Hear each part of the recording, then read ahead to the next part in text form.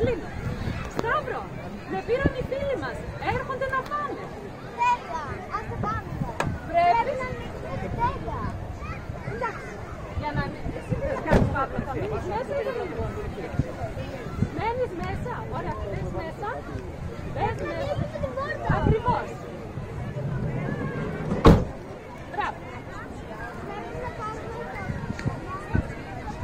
Ακριβώς στο κοντάρι μας.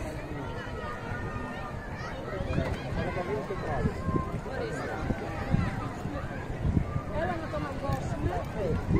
Το βάζουμε μέσα, το γυρνάμε και το ασφαλίζουμε. Σταύρο, ανοίγεις.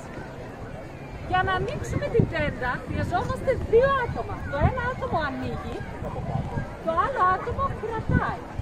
Πάντοτε με κλειστέ πόρτε. Αυτό είναι πολύ σημαντικό για να μην σε βγάλει. Άνοιγε Σταύρο. Μπράβο, το κάνει τέλεια ο Παύλος προσέχει εάν το κάνουμε σωστά. Έτσι. Θα κάνουμε σωστά. Ακριβώς. Κράτα το εσύ. Άνοιγε, άνοιγε, άνοιγε, άνοιγε.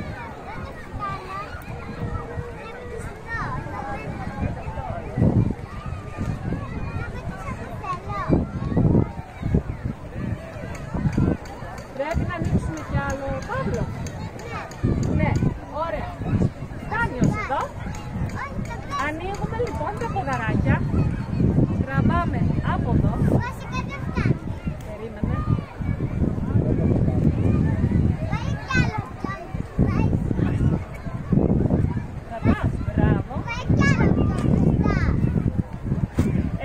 with just